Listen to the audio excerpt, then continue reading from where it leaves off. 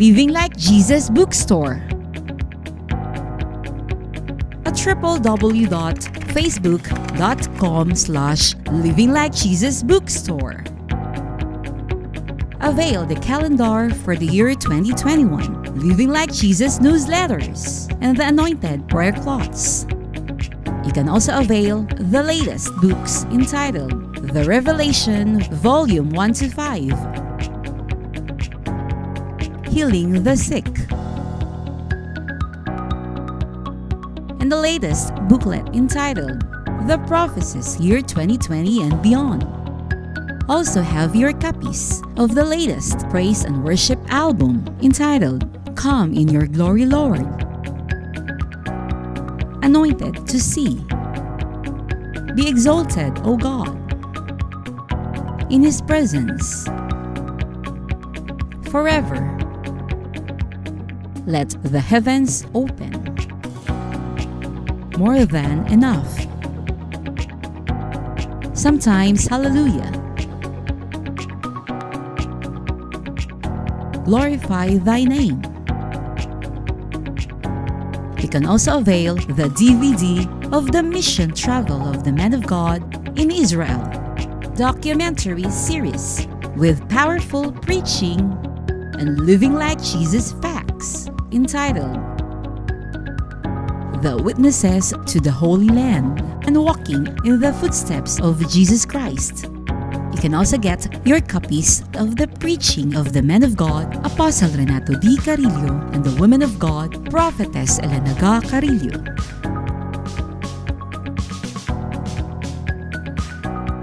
Grab your copies now and be blessed beyond measure.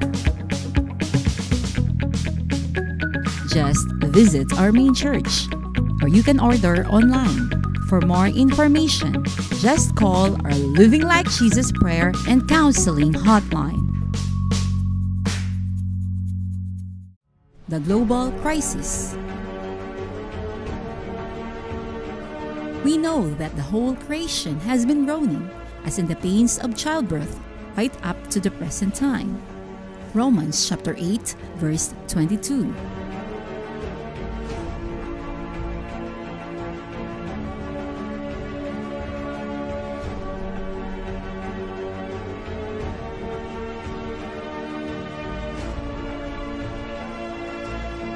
Darkness covers the earth, and thick darkness is over the peoples.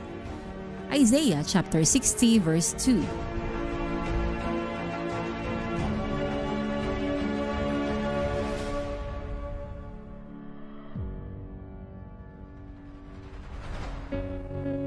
Souls are waiting. It's harvest time. The apostolic era has come. Prepare for the Living Like Jesus apostolic mission travel of the man of God, Apostle Renato D. Carillo, nationwide and worldwide, for the salvation of souls and perfection of the church. When the man of God ministers to the multitudes throughout our country, you are with him. And as he travels to the nations of the world, numerous lives will praise God as they experience His love and greatness.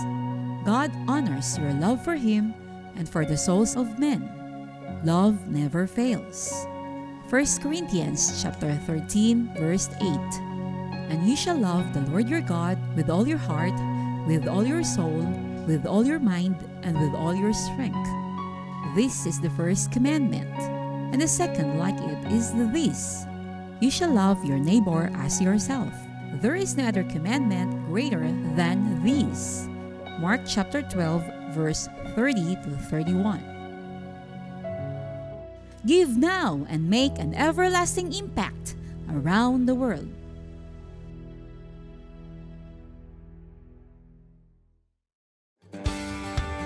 God's dwelling place.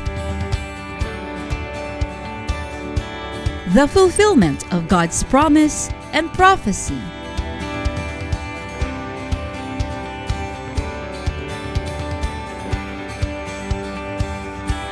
Here's the glimpse of its continuous construction.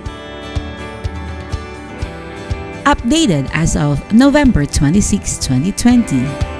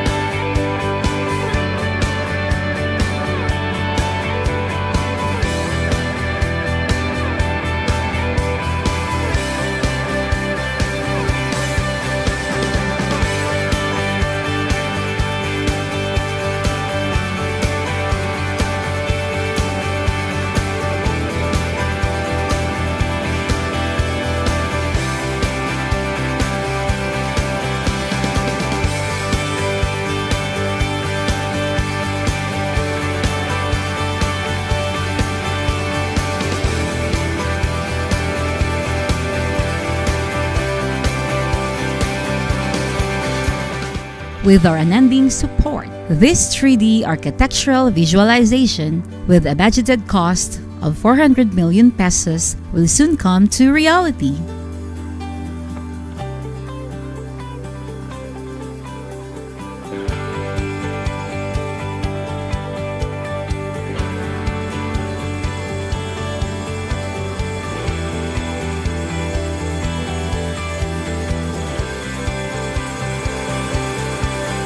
As our blessed house of prayer and fasting and a great venue for our family camp, youth camp, pastor's camp, Thanksgiving, and other grand events, countless lives will surely receive their salvation, healing, deliverance, and God's blessings.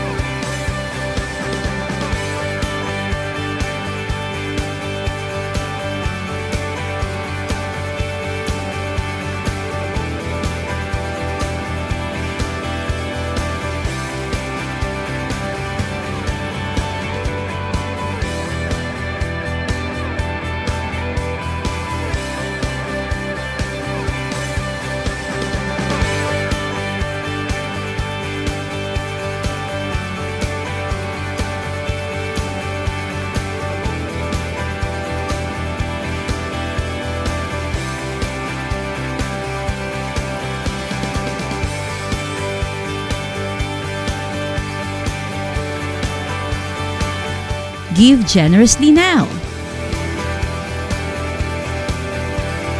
Your giving is your blessing.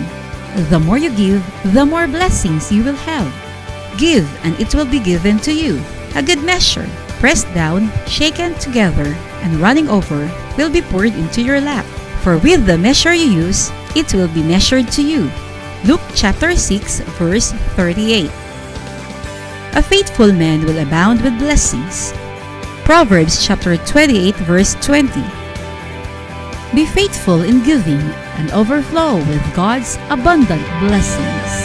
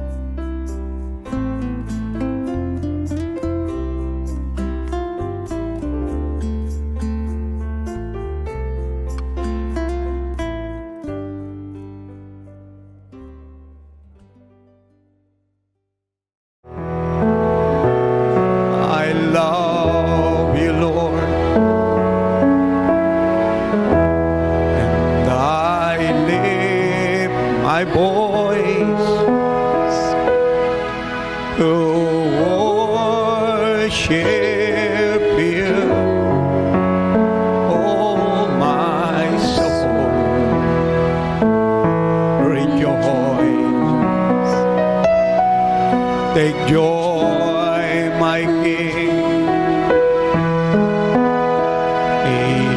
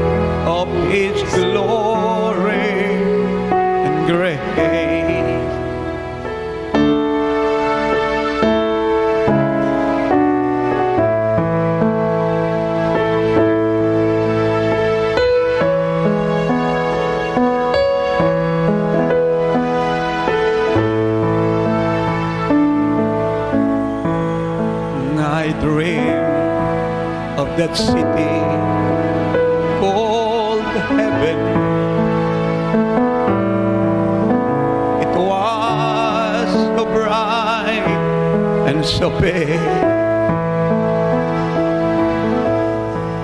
When I entered the gates, I cried, Holy. But angel, oh, me there.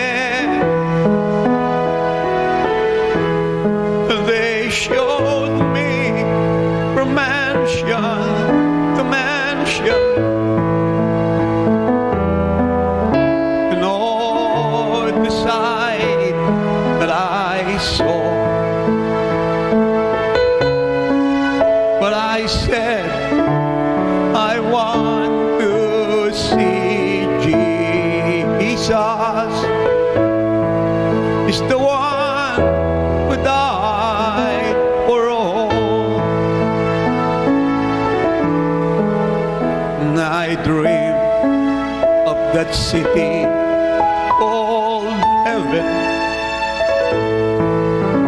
It was so bright and so pale when I entered the gates.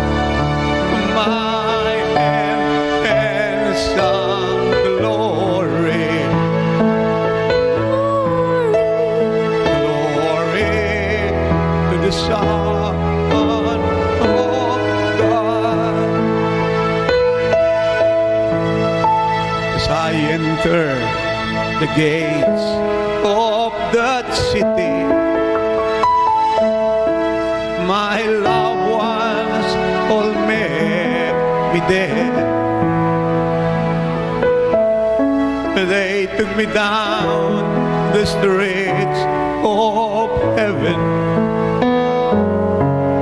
Oh, too many there. I saw Abraham, and Jacob. Matthew, Mark, Luke, and Timothy. But I said, I want to see Jesus. He's the one who died for me. As I enter the gates of that city.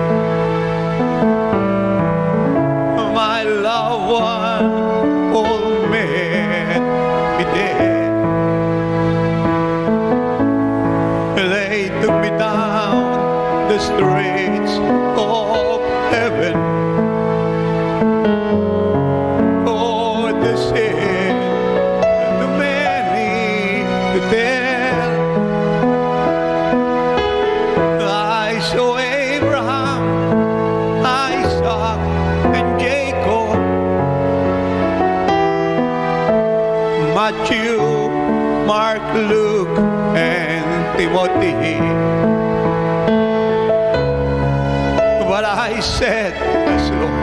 I want to.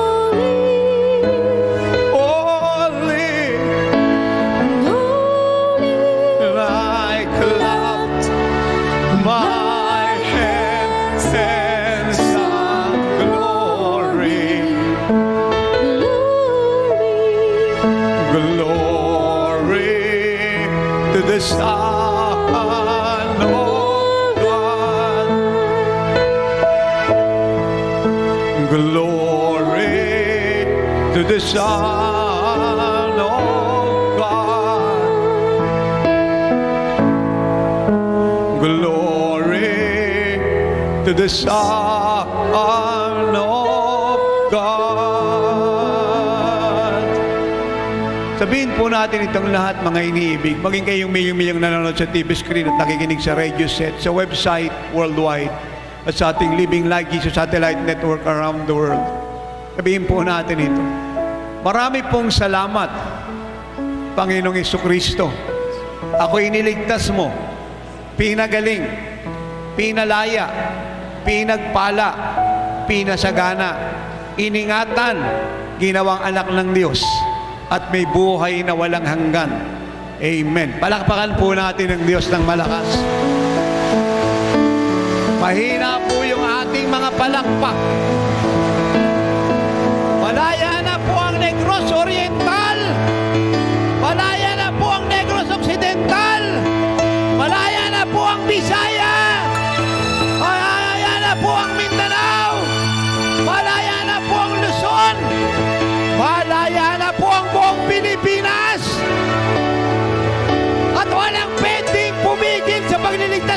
Sambayan ng Pilipino. Walang gawa ng Diablo at tatalab sa bansang Pilipinas. For God said Jesus is our shield all over the church, all over the Philippine Island, all over Asia, all over Europe, and the nations of the world. And the man of God in his chosen family, and the living like Jesus church to the ends of the earth to bring revival unto perfection.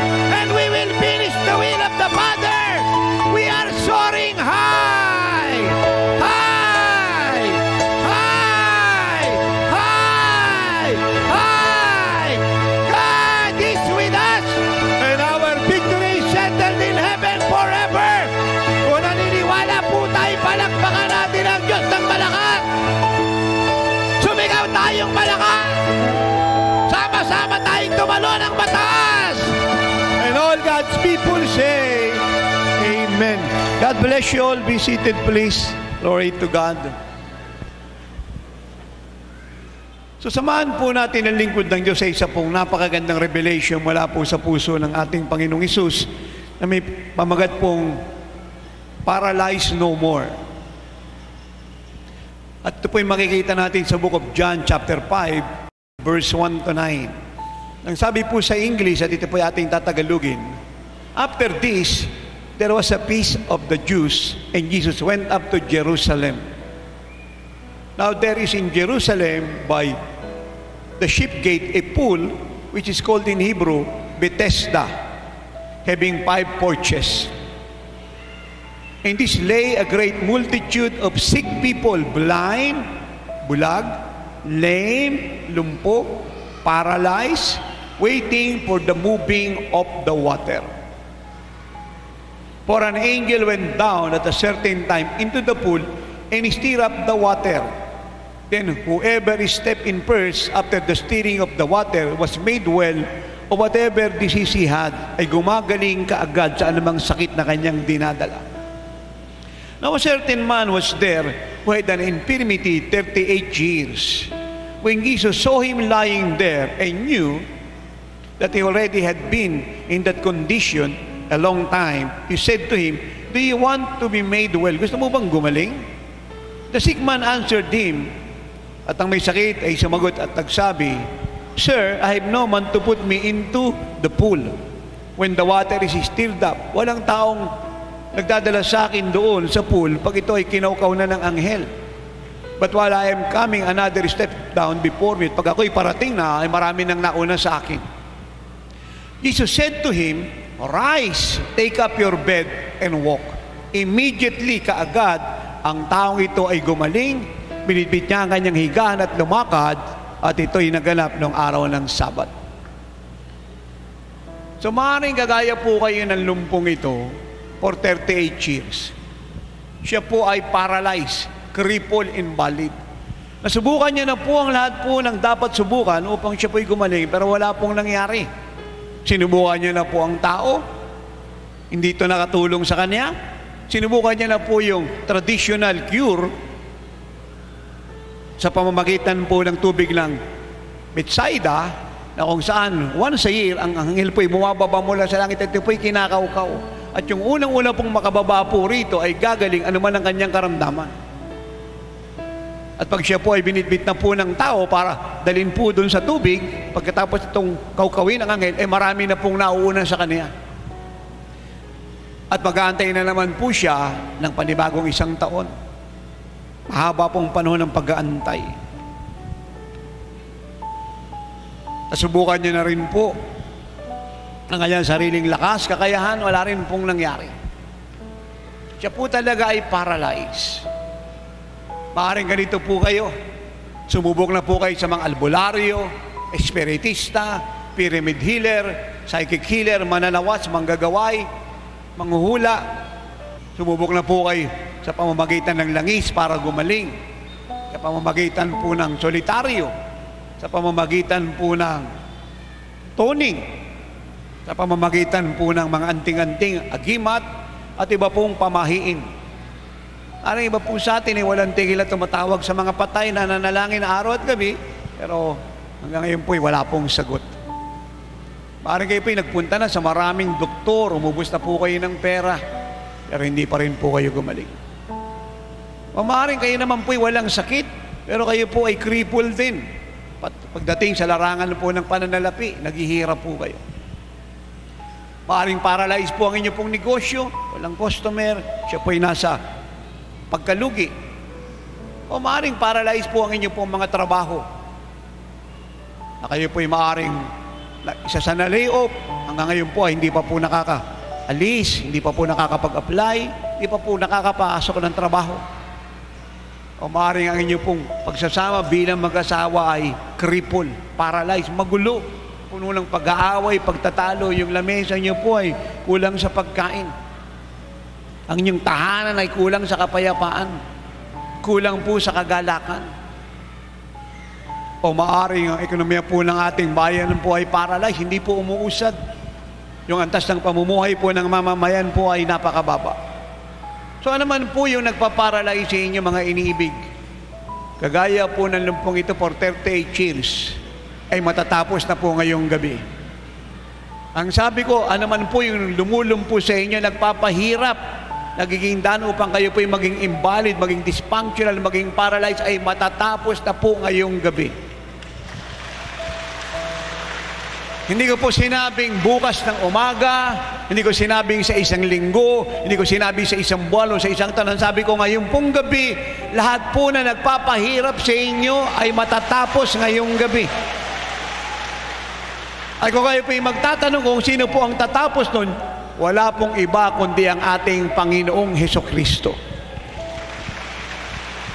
Kagaya po ng lumpong ito nung dumating po ang Panginoon doon po sa Bethesda, sa Tagalog po ay Bethsaida, ay natapos na po ang kanyang paghihirap. Si Jesus lamang po ang tumapos ng paghihirap niya. Alam mo ba ninyong lahat na wala pong mga pariseyo nagpupunta po sa pool na to? Alam mo ba ninyong lahat na wala pong mayamang tao nagpupunta riyan? Alam mo ba ninyo na wala pong prominente tao ang nagpupunta riyan, kilalang tao? Mga kilala sa lipunan, sikat na wala pong nagpupunta. Ang nagpupunta lamang po rito sa Bethesda o Bethsaida ay may mga sakit at karamdaman.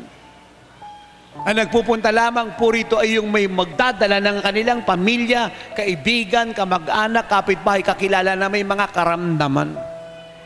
Ito lamang po ang makikita niyong tao riyan.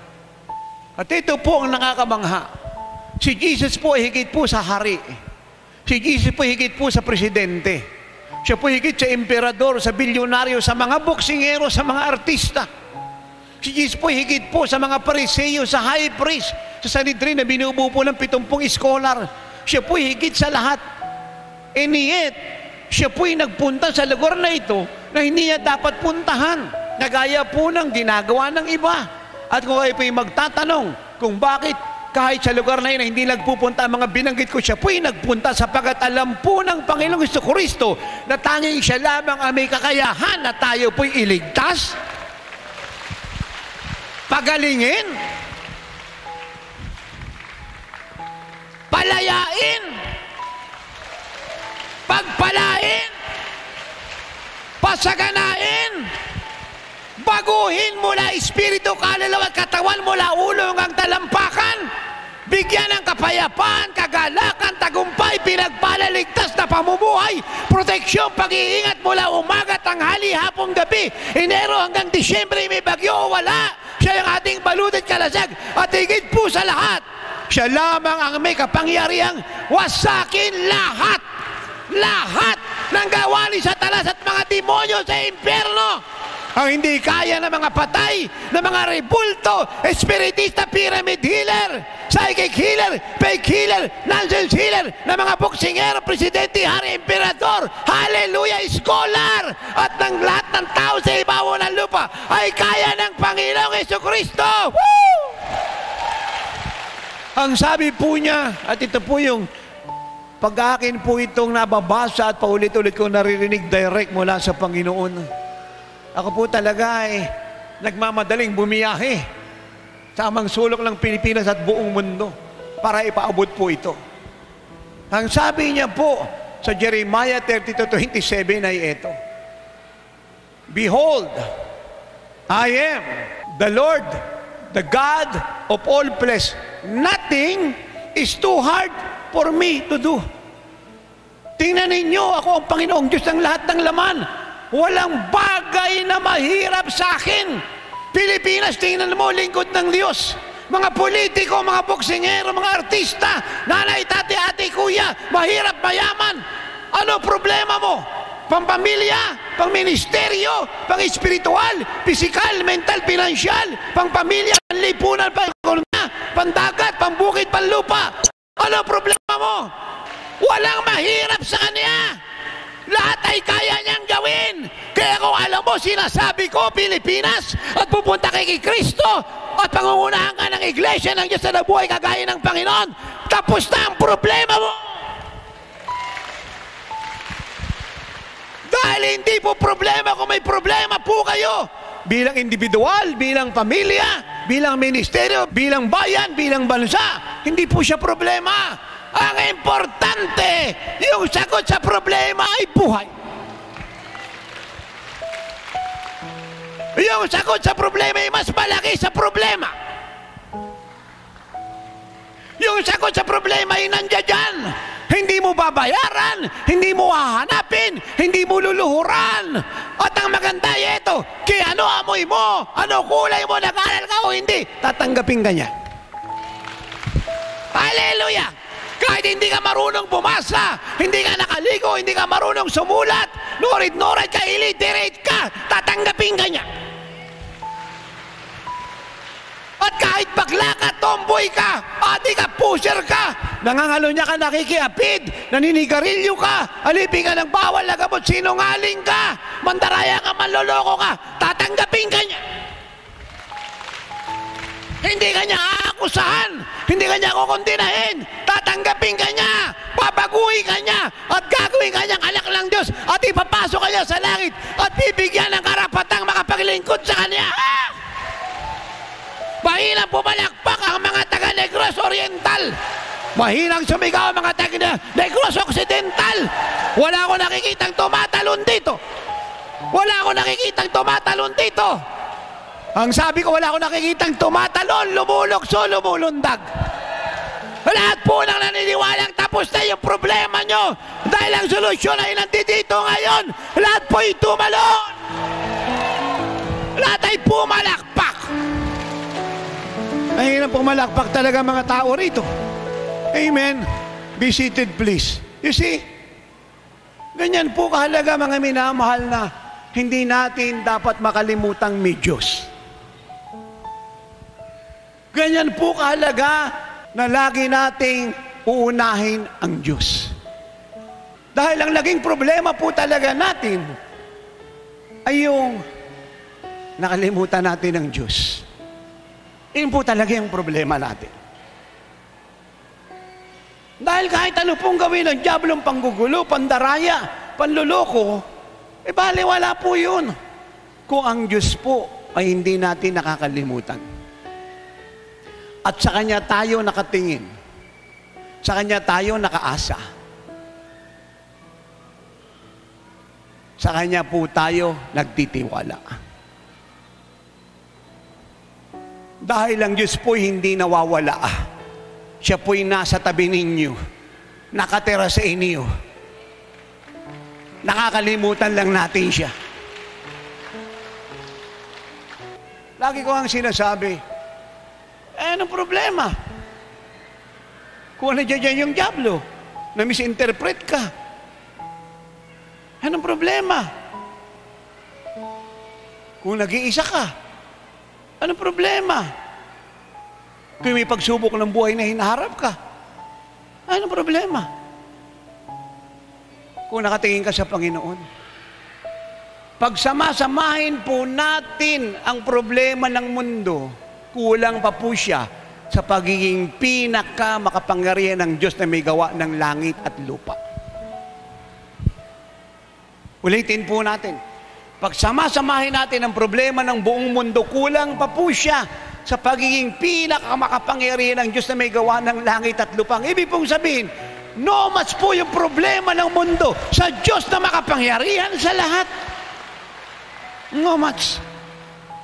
Ang ibig mo bang sabihin, lingkod ng Diyos, habang ako'y nakatingin sa Panginoon, kahit may testing ng faith, may trial ng faith, ay unaffected ako, undefeated ako.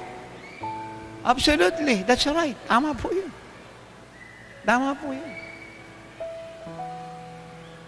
Dahil si Kristo po ang Diyos natin at suma sa atin po hindi kagaya ng rebultong nakatingin lang, doing nothing. Hindi po siya kagaya ng rebulto na hindi nakakarinig, binubuhat, iniilawan, pinupunasan. Siya po'y Diyos na buhay. Ang sabi ko, siya po'y Diyos na buhay. Marunong lumakad mag-isa. Hindi po siya kagaya ng rebultong binubuhat. Si Kristo po'y marunong lumakad mag-isa. Kahit sa ibabaw ng tubig, kaya niya pong lumakad mag-isa. Marunong siyang gumalaw mag-isa, hindi kagaya ng rebulto para gumalaw eh. Kailangan baguhin mo yung kinalalagyan niya, kailangan, iturak mo yung karo. Si Jesus po kayang gumalaw mag-isa. Hindi mo kinakailangang linisin ng Panginoon. Siya ang naglilinis ng kasalanan natin sa pamamagitan ng kanyang banal na dugo. At isa pong taktika po ng Diablo, ay palagi po tayong turuan na tumingin doon sa ginagawa niya, sa pangit na pangyayari, sa mga pangit na nagaganap, at sa ating pakiramdam na lagi pong mali. Medyo mahirap pong tanggapin ito ng marami, pero yung pakiramdam po natin, laging mali yan. Hindi po nagiging tama yan. At yung Diablo po, natalunan, walang kakaya, walang kapangyayari, nagtatagumpay, kasi lagi tayo nabubuhay sa pakiramdam natin. Nasaktan ako. Bakit ganun? Bigyan ko kayo ng halimbawa. Oh, si Pablo tsaka si Silas, ginawa nila ng masama. Pinalo ng lati kong bakal kinulong. Pangit po yun. Hindi pa natin naranasan yun. Pero matalino po itong mga apostol. Imbis na magmurmur, mabuhay sa self-pity, sumama loob, magsalita ng pangit, mag-quit na sa paglilingkod, mag-backlight, umayaw na, at problemahin yung pakiramdam niya at nangyari sa kanya, ang ginawa po ng dalawang apostol ay nagpuri sa Diyos. Sumayaw kumanta na nagsabing, God is not dead, He is alive. What a mighty God we serve. At nung sila po'y nagpuri, purihin ang Diyos. Yung pangit na pangyayari, pinaganda ng Diyos. Yung pong mga bilanggong kasama nila sa kulungan ay lumaya. Yung jailer na nagkulong sa kanila ay lumaya. Yung pamilya ng jailer ay lumaya, naligtas. At silang dalawa ay lumaya. Kaya pag tama po ang ating reaksyon, kahit pangit ang nangyayari at ang kinabubuhay natin, hindi pakiramdam natin yung ating pagiging buhay pa sa sarili, kundi ang Panginoong sumasatin at ang salita niya, tagumpay tayo habang panahon. Ah! Amen. At ako po'y naniniwala lumago po si Pablo ng malalim pa. Bakit ko po nasabing siya po yung lumago pa? Lumawak pa yung pananaw kaysa dati po niyang naintindihan. Dahil muling nahayag ang kapangyarihan ng Diyos. Pag ang bawat isa't mga anak ng Diyos ay nagmamature at nabubuhay sa tungkulin niya, na mabuhay kagaya ng Panginoon ay mahayag ang kapangyarihan ng Diyos at kahit maganda na ang kalagay mo sa Espiritu Santo, tataas pa dahil the more na nakita mo kapangyarihan niya, naunawaan mo ang paraan niya, the more na yung spiritual insight and understanding will mature. At napakarami pong manggagawa ang Diyos. Napakarami po naglingkod sa Panginoon na sinasayang ang promotion. Ulitin po natin at lalakasan ko. Napakaraming manggagawa ng Diyos, naglilingkod sa Diyos, sinasayang ang promotion. Binibigyan sila ng Lord ng pagkakataon mag-mature, ma-promote, ayaw nila. Paano mo sinabing ayaw nila? Eh, nabubuhay sa pakiramdam. Amen. Wala pong pinakamagandang gawin mga iniibig Church of God sa bayan ng Pilipino. Pag tayo po'y nasusubok sa pananampalataya, kundi isang bagay, ipamuhay ang salita ng Diyos. Amen? Ipamuhay. Yung salita ng Diyos, hindi yung ating pakiramdam, kundi salita ng Diyos. Dahil kadalasan na po ang sumusugat sa atin at sumisira ng buhay natin, ay yung mali nating reaksyon. Yung mali nating salita. Yung mali nating pananaw. At ito po'y tanda ng immaturity. Napakarami ko pong nakita na naglingkod sa Diyos sa bansang ito at buong mundo. Ang daming narinig, natutuwa. Pero pag dumating na po yung personal niyang pagsubok sa buhay at testing ng ugali at maturity, bagsak po sila. Hindi nila malakaran. Sayang po ang promosyon. Pero mabuti na lang po, kahit na nalulunod si Pedro, marunong siya magpakumbaba at magsabi, Panginoon, tulungan mo ko. At mabuti na lang na may Kristo na hindi nangungunti na at muli nagbibigay ng pagkakataon at muli nagbibigay ng himala. At si Pedro pong malulunod ay muli niyang binang.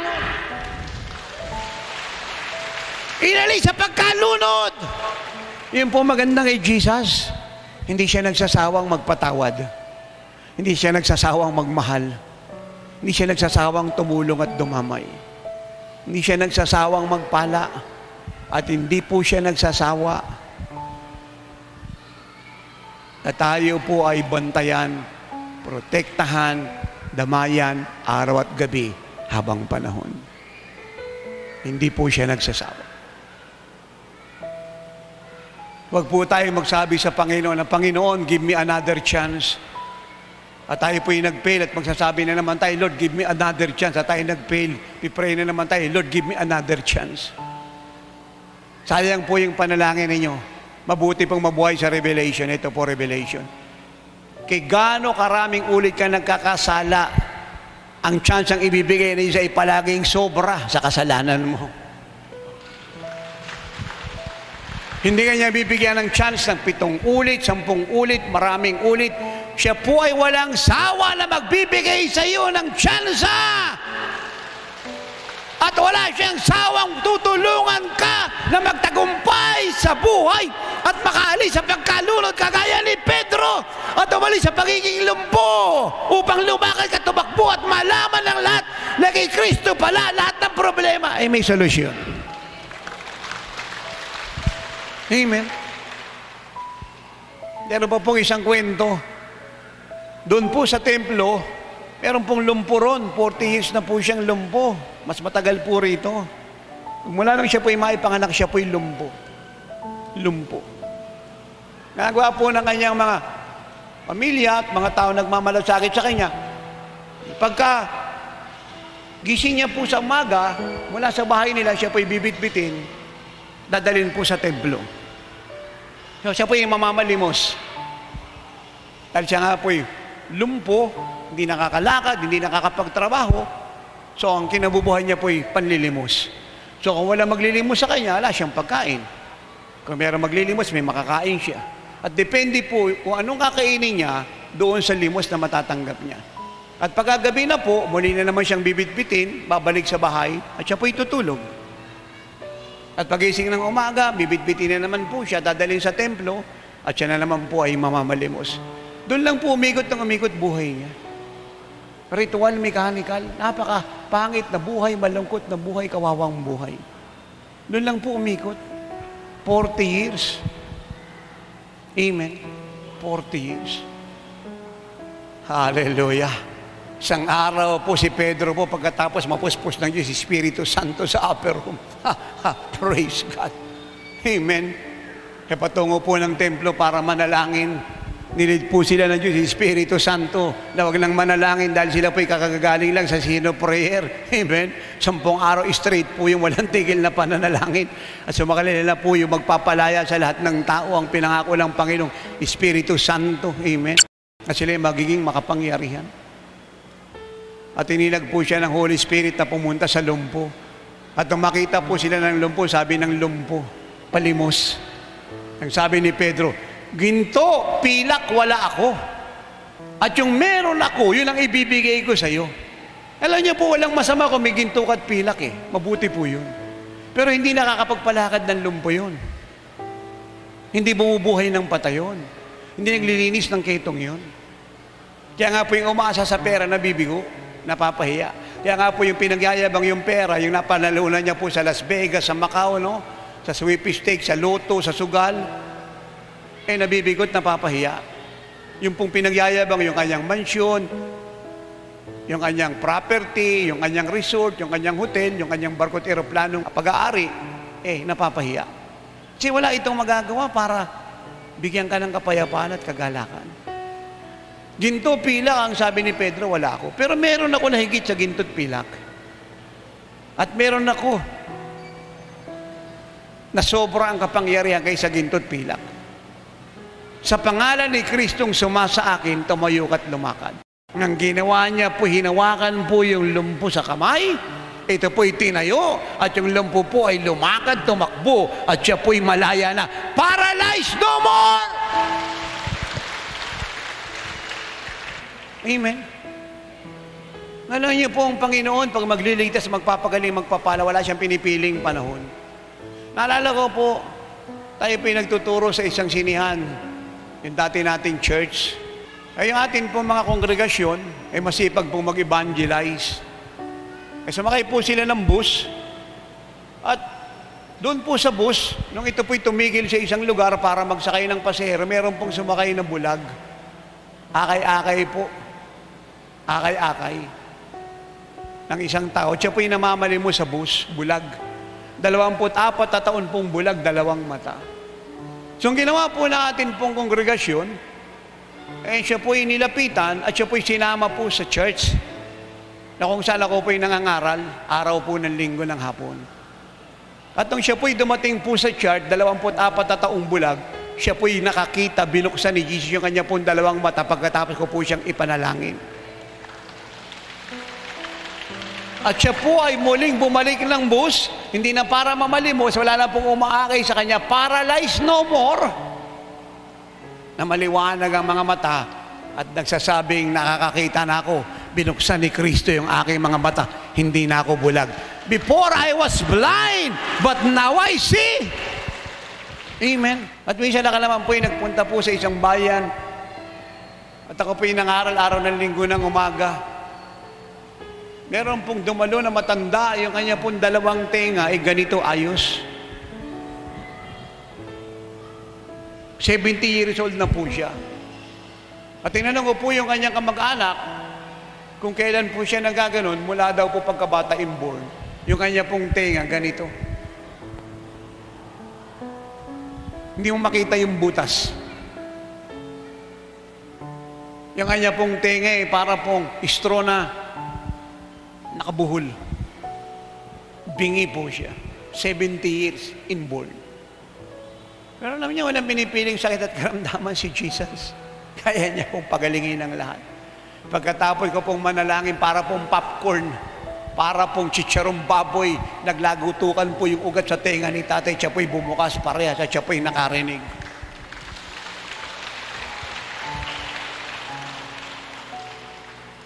Minsan ako naman po'y nagpunta po ng Mindanao.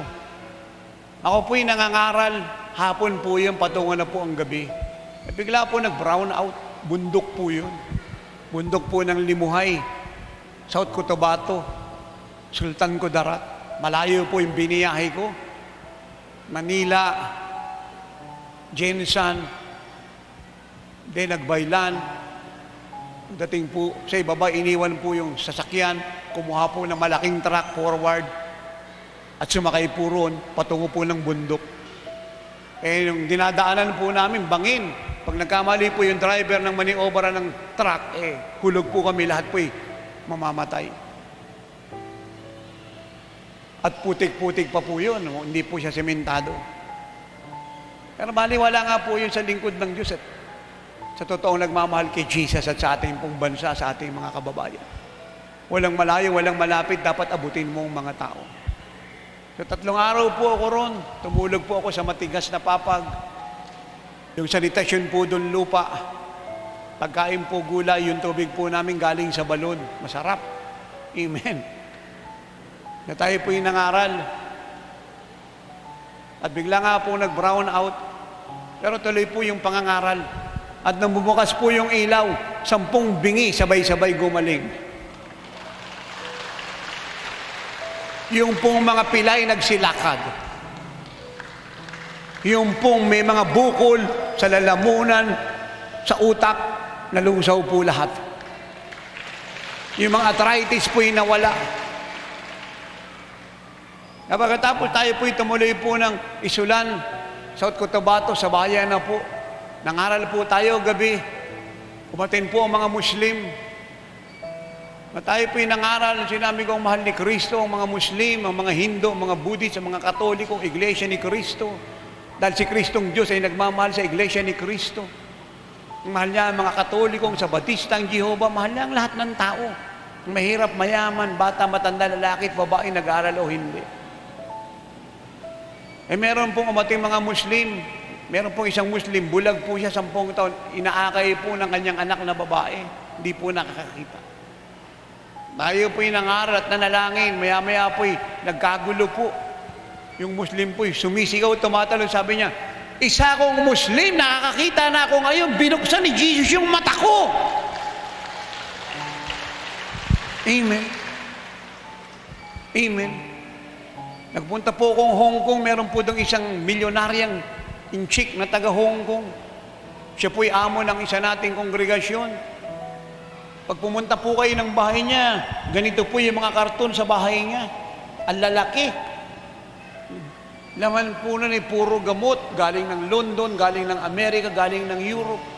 Ang tawag po doon, maintenance medicine. Yung po'y lifetime niya pong iinumin.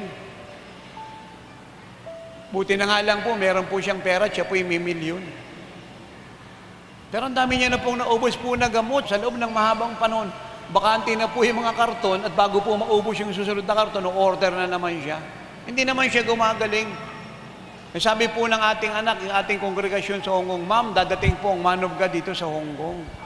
Gusto niyo po bang gumaling? Eh, sino ba naman may ayaw? Sabi niya, andyan yung man of God sa Cultural Center sa Hong Kong, may gawain sa araw ng linggo ng maga. Pupunta po ako doon, gusto niyo pong sumama. Eh, sumama po yung kanyang amo. Purihin po ang Diyos. Nakinig po yung kanyang amo. Nangaral po ko English na, dahil hindi po siya marunong ng Tagalog. Maiksi lang po pangangaral natin. Paralyze no more, medicine no more, sicknesses, diseases no more, pain no more, grief no more, worry no more, sin no more, the devil no more. Worry no more. At si Kristo po yung nag-alis lahat ng sumpang ito. At siya po'y pinag-pray ko. Purihin ng Panginoon, pinagaling po siya ng Diyos at wala na pong kartong-kartong gamot. Amen. Nagpunta po akong Europe. Meron pong isang babae po galing ng London. Siya po'y naka-wheelchair. Ito po'y Monaco. At buhat sa kanya, eh, may mga cripple pong nagpunta. Ako po'y nagturo sa 17th century church. Gabi po yun. Sa Europa, bansang Monaco. At pagkatapos po nating mangaral, Ano man ang sakit kayo, pagagalingin kayo ng Lord. Hindi na mahalaga kung marami kayong kasalanan, patatawarin niya kayo. Hindi na mahalaga kung bakla ka, kaya kanyang gawing lalaki, kasi lalaki ka naman talaga. Hindi na mahalaga kung tomboy ka, kaya kanyang gawing babae, kasi babae ka naman talaga. So ano yung problema mo, ano yung kabigatan mo, kaya ng Panginoong solusyonan. At pagkatapos po natin mangaral sa English, tayo po yung nanalangin, lumabas po siya ng wheelchair at siya po yung lumakad. Sabi ko po sa inyo ang totoo. Hindi ko po mabilang kung ilang, kung ilang milyon na pong tao ang pinagaling ng Panginoon sa buong Pilipinas at buong mundo. Nakita ko po yan sa India. Nakita ko po yan sa Oman Muscat. Nakita ko po yan sa France. Nakita ko po yan sa Norway. Nakita ko po yan sa Rome. Nakita ko po yan sa Monaco. Nakita ko po yan sa Germany. Nakita ko po yan sa South Korea. Nakita ko po yan sa Israel, sa Amerika, paulit-ulit. Sa bawat state ng Amerika. Nakita ko po yan sa South America, sa Ecuador, sa Puerto Bolivar, sa Guayaquil. Nakita ko po yan sa China, sa Macau, sa Hong Kong, sa Singapore, sa Japan, sa Thailand, sa Taiwan sa Indonesia, sa Malaysia. Nakita ko po yan sa buong Pilipinas. Paulit-ulit na lang. Mga sakit at karamdamang hindi mapagaling ng mga doktor na malalaking hospital sa Europa, sa Amerika, sa Japan, sa London. Iba po'y agaw buhay, mamamatay. Nakita ko po yan sa Cyprus, sa United Arab Emirates. Paulit-ulit na lang. milyong-milyong tao. Wala nang pag-asang gumaling. Kay Jesus po sa isang isang mata, lahat ay gumagaling.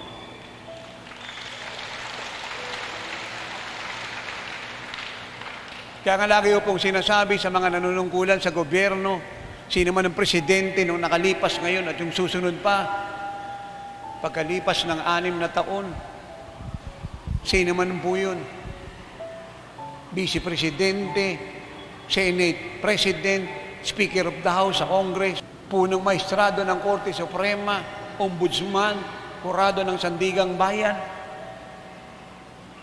mga mayor, governor, congressman, vice mayor, vice governor, konsihal, barangay captain.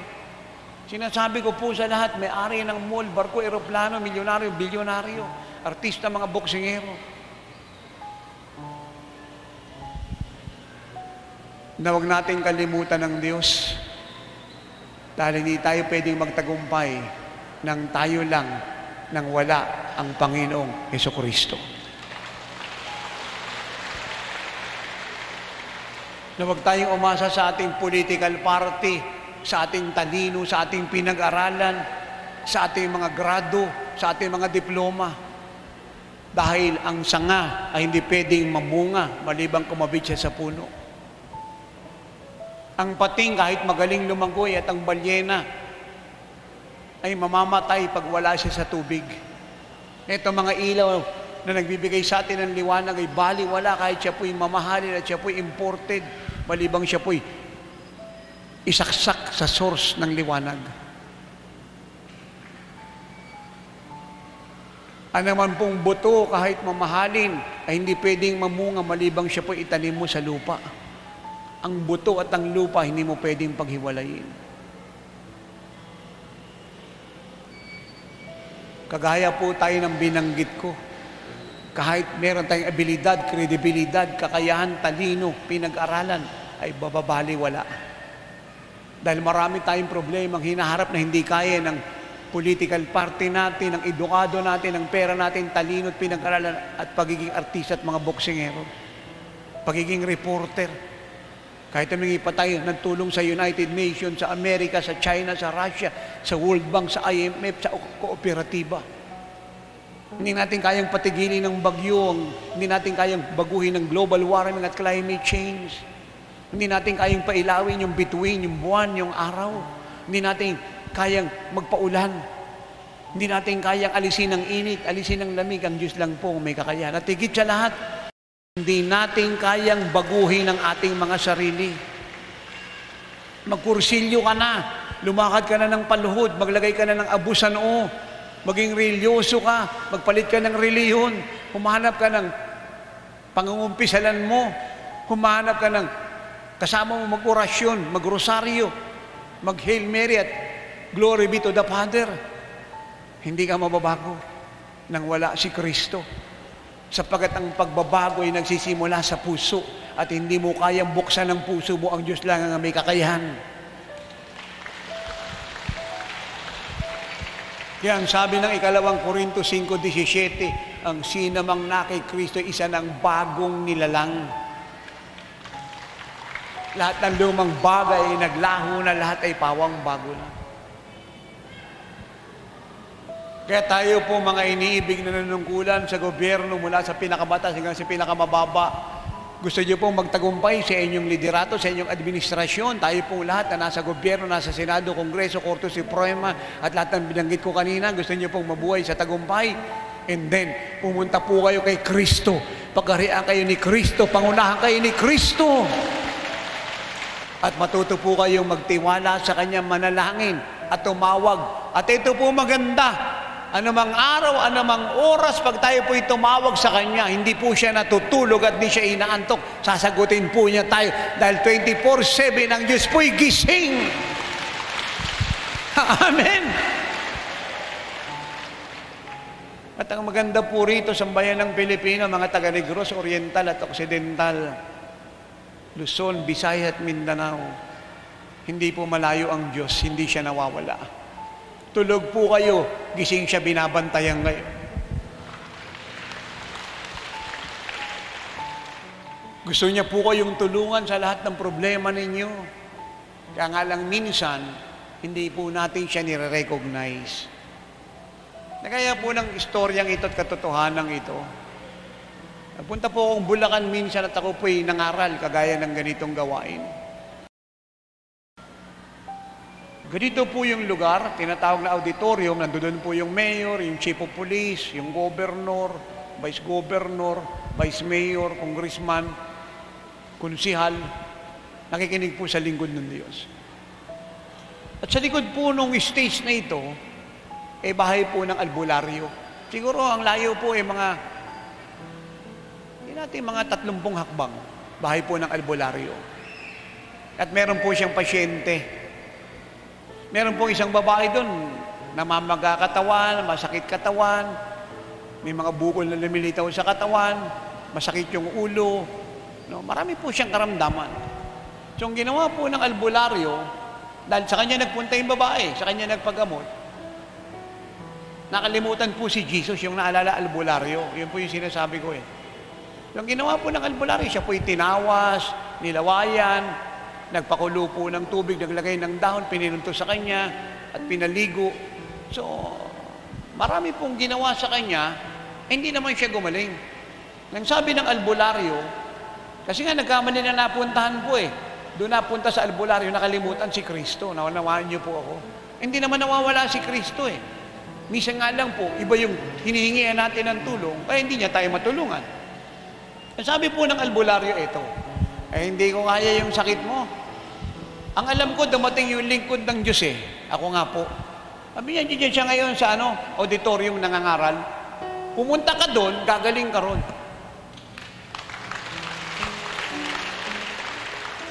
At siya po yung umatin ng gawain, at lahat po ng sakit niya pinagaling ni Jesus. At ang siya po yung umagat sa itaas para magpatotoo, eh naamoy ka pa po yung dahon, naamoy ko pa yung usok, naamoy ka pa po yung orasyon ng albularyo, na wala namang naitulong.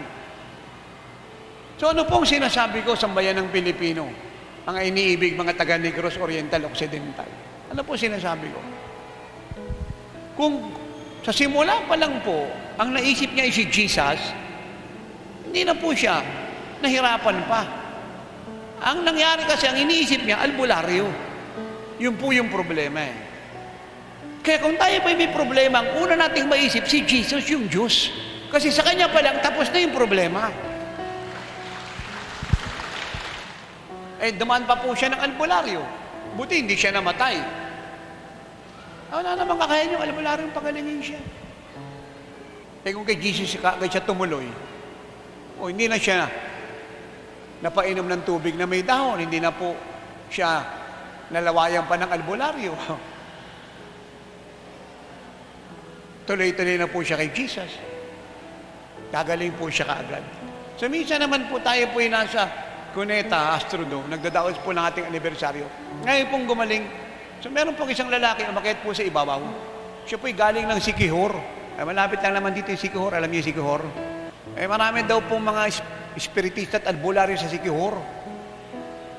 Sa ngayon sa kanya, eh, doon po yung mga magagaling na manggagamot. Sa ngayon sa kanya, pero alam naman natin hindi po totoo yun, mali yun. Hindi naman manggagamot yung mga albularyo eh. Ano sila, albularyo? Walang ibang manggagamot, si Jesus lang. So, punta siya ng isang albularyo, Bayad po siyang 10,000. Dami niyang sakit eh.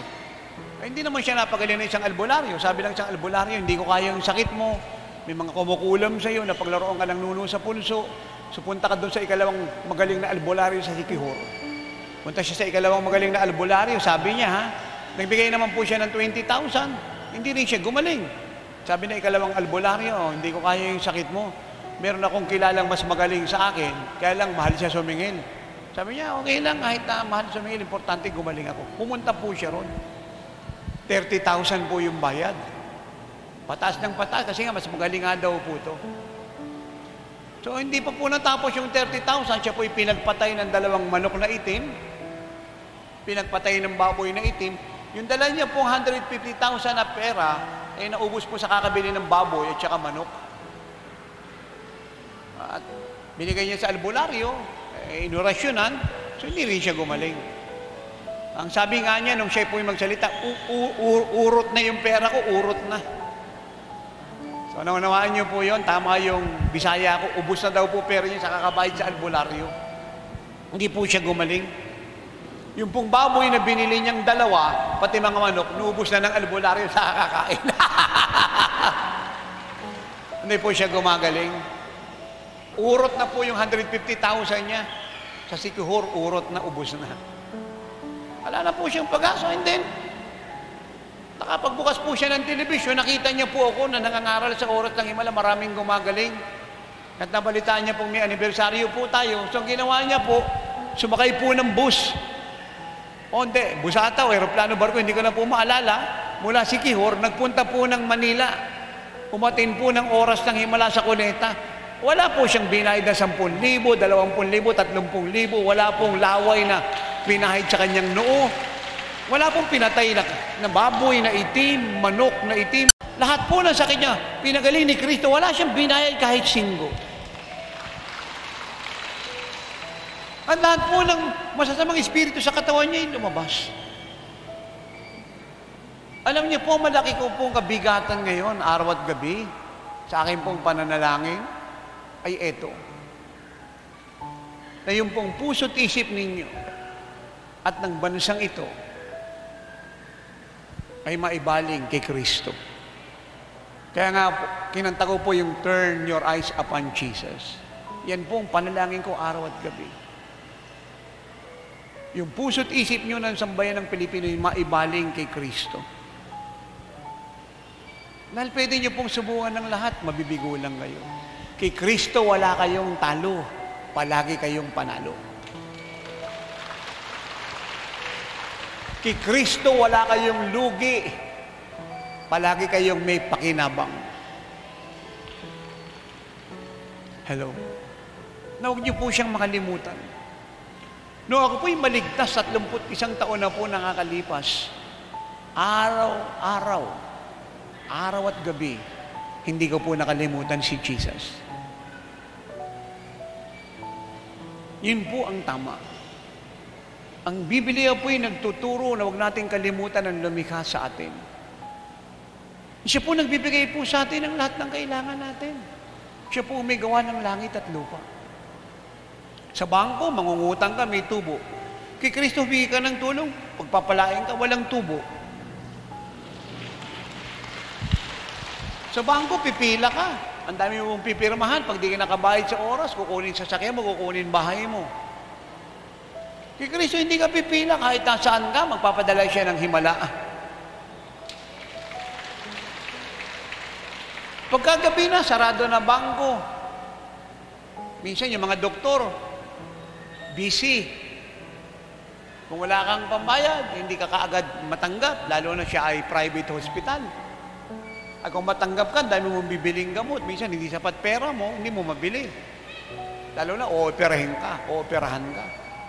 Kay Kristo, wala pong ganun. May pera ka o wala, pagagalingin ka niya. Dalangin ko po na kayong lahat at ang bansang ito sa pangunguna ng Living Life Jesus Church, eh huwag kalimutan si Jesus. Huwag mag-alis ng mata kay Jesus. Ang dali na naman niyang kausapin eh. Hindi mo na kailangan mag-English pa, kahit di ka nag-aaral, hindi mo na kailangan pa ng King James Version ng Bible, ng, ng The Message Bible, ng NIV, ng New King James, ng Hebrew and Greek translation. Hindi mo na kailangan pa ng theological prayer. Hindi mo na kailangan yan. Simpleng panalangin mula sa puso, Panginoon, tulungan mo po ako. Tutulungan ka niya. Panginoon, baguhin mo po yung anak ko, yung asawa ko. Palayain mo po siya sa drug addiction, sa iyo siya sumurrender. Kasi kung sa mga pulis lang siya susurrender, hindi siya mababago. Pero kung sa iyo siya susurrender, Panginoon, tsak mababago siya. Amen. Nasagot po ang Diyos sa panalangin. Minsan ako po'y galing po ng malayong lugar, siya po'y Central Luzon, Cagayan Valley. Mahaba po biyahe sa kalsada, minsan 18 hours, 20 hours, 25 hours. Sanay na po tayong sikatan ng araw sa kalsada, at lambungan ng dilim sa kakabiyahe. Nung kami po, makarating na po ng Tarlac, naramdaman ko po na gusto ng Lord na tumigil kami. At ngayon kami nga po tumigil sa mga nagtitinda doon po sa sa kalsada. Alam niyo naman po yung kalsada, di ba may mga fruit stand dyan. Yan dami pong tindahan doon. Then sabi ko po sa mga kasama ko, ako, ano, bili tayo ng ano, pakwan. Pero kung tutusin po, hindi naman namin kailangan na ng pakwan. Hindi na rin namin kailangan tumigil sa daan kasi mahaba po yung biyahe. Pwede na kami umuwi tuloy-tuloy para makapagpahinga. Kaya lang, naramdaman ko po yung gusto ng Lord. Kasi dami po na nagtitinda doon. Eh, sino bibilan mo? Eh, tabi-tabi po yun. So ako po yung naglakad at inalok po ako ng mga nagtitinda, itabi-tabi po yan, paglagpas ko na, paglagpas ko na isang stall, sa kabila naman, sabi nila, Sir, dito na po kayo bumili, matamis po yung pakwa namin, matamis po yung milo namin. So, ngumingiti lang po ako. Patuloy po ako naglalakad, at maya maya, sabi ng Lord sa akin, dito ka bumili, sa kabilang stand. Pero kung tutuusin, eh, hindi ka bibili doon kasi medyo hiwalay siya, at yung kanyang paninda, hindi ganun ka-competitive. So, hindi na po namin pinag-usapan kung magkano yung presyo po ng milon at ang pakwan. So, bumili po ako. Umiyak po siya. Umiyak. Sabi niya, ako yung nagpipray na magkaroon ako ng benta. Kasi ilang linggo na akong walang benta. Sumasakit ang ulo ko, pati katawan ko kasi marami kaming babayaran. Minsan wala kaming maibiling pagkain. Prutas na nga kinakain namin, yung paninda namin. Naunawa niyo po, siya raw po yung nananalangin. Amen. Nananalangin daw po siya. Eh ako po ang sagot sa panalangin. Siya po yung nagkabenta. At hindi lang po yun. Yung kanya po, mga sakit pinagpray ko, siya po yung gumaling at siya po yung umiiyak na ligtas. Hindi lang po minsan nangyari yan. Napakaraming ulit. So, gana ba namang manalangin tayo, Lord, tulungan mo po ako. Ano ba yung problema mo? Ano ba yung kabigatan mo? Nakikinig po siya. Kay madaling araw ka manalangin, kay sa puno ng nyug, sa ibabaw ng kalabaw, sa bukid, sa aparador, sa loob nito para hindi ka maistorbo ng mga bata, didingin ka ng Diyos. Kaya anong ayos mo, kaya anong amoy mo? Hindi po ba napakagaan niya na kung hindi mo makakalimutan ng Panginoon, nandiyan siya. Hindi niya rin pupunahin kung mali yung Tagalog mo, mali English mo. nabubulol ka at nauutal sa pagsasalita, hindi tama yung lingwahe mo, na intindihan ka niya. At lahat ng sinasabi mo, dinidinig niya.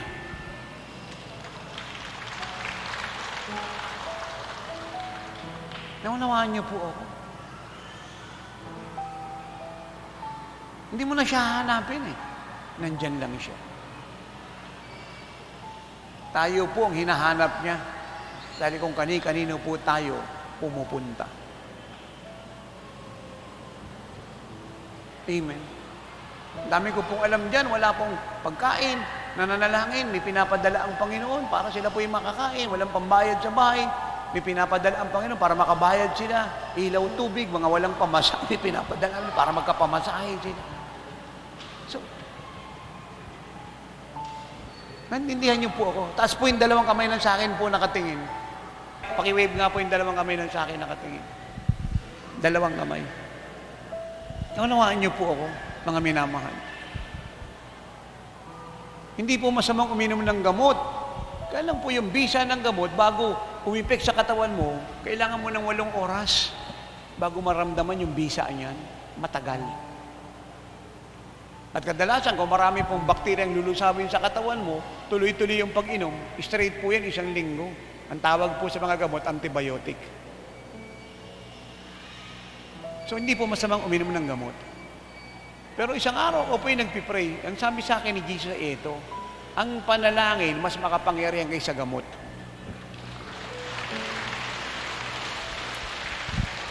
Yung bisa ng gamot, walong oras bago tumalab sa katawan mo. Yung panalangin, segundo lang, minuto lang, may effect na sa buhay mo. Amen. Kaya po ng istorya ng babae inaagasan ng dugo. Labindalawang taon po siyang inaagasan ng dugo. Hindi po tumitigil yung agas ng dugo sa katawan niya. 12 years, mahaba na panahon. Kaya hindi tayo nagtataka na siya po'y gumagapang sa daanan, sa lupa, masakit ang katawan, mahinang mahina, o lumuse, mamamatay na, hindi na makalakad, hindi makatayo. Kasi nga, o lumuse, ubus na yung dugo niya. 12 years, araw-araw po tumatagas, labindalawang taon. Naubos na po yung pera nila. Pati po pamilya niya, masakit na yung ulo. Eh, bay, mahirap po magbantay ng may karamdaman. Lalo na ganyang katagal. Amen. Mahirap. At hindi lang po yan, limang doktor yung gumamot sa kanya, lima. Mga dalubhasa. Hindi po siya gumaling na pag-aralan na lang po siya. Pero isang araw po narinig niya ang patungkol kay Jesus. Na si Jesus po yung nagpapagaling, mga ketong nililinis niya, patay binubuhay niya, bulag binibigay niya ng paningin, bingi binibigay niya ng pandinig, pilay pinalalakad niya. Yung bakla ginagawa niyang lalaki, yung tomboy ginagawa niyang babae, mga adik puser ginagawa niyang God adik at God puser. Mga prostitute ginagawa niyang malinis na babae. Walang makain, pinakakain niya, walang kasuotan, binibisa niya, walang tirahan, binibigay niya ng bubong na masisilungan. Mga walang tinapay na makain, pinakakain niya, walang mainom, binibigay niya ng inumin. Nabalitaan niya po na ang Lord po ay nagpapagaling kahit saan. Yung ginawa niya po ay nagpunta sa kinararoonan ni Jesus. At kahit maraming tao nakapalibot sa Lord, hindi po naging hadlang yan. Ang ginawa po niya ay gumapang. Gumapang. Para lang pong makalapit kay Jesus. Hindi po biro. Parang sabi niya, mahawakan ko lang ang laylayan ng baro ng Panginoon, ako'y gagaling. Kasi kanya pong kakagapang, siya po'y nakikipagsiksikan sa mga nakatayo. Minsan maaaring siya po'y natatapakan, siya po'y naisasalya sa tabi, pero siya po'y gumagapang. Napakahirap na kalagayan. He's fighting for, his, for her life, for her survival. Desidido po siya. Kaya pag tayo po'y nagnanais ng himala sa Diyos, dapat determinado po tayo. Kahit may harang po dyan, tutuloy tayo. Kung ikaw naman ay bishop at pastor, naglilingkod ka, tinawag ka, dapat determinado kang tapusin ang kalooban ng Diyos. Hindi ka nabubuhay sa pakiramdam, hindi ka negative, hindi ka nagbabackout, hindi ka lang sabing ayoko na, I quit. So matutuwa ang Diablo. At hindi dapat matuwa ang Diablo. Dapat determinado ka dahil tinawag ka ng Diyos, hinirang ka niya, tumuloy ka, sinungaling Diablo, magtatagumpay ka.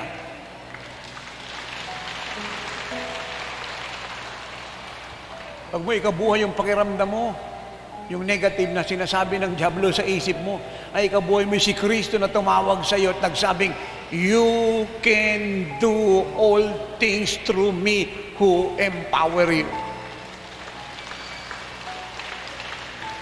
At nang mahawakan niya po yung laylayan ng baro ng Panginoon, purihin ng Diyos. Hindi ko pa alam ha, hindi naman sinabi sa Bible kung ilang segundo, kung ilang minuto. Isa lang po alam ko, kaagad sa ganun po kaiksing sandali, yung kanyang dugong tumatakas for 12 years ay gumaling.